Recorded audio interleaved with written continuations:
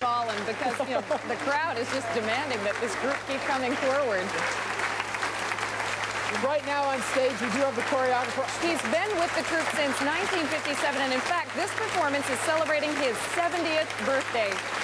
Getting a standing ovation from the crowd here because this is a much-loved group, a much-loved choreographer, and such an important part of Polish culture.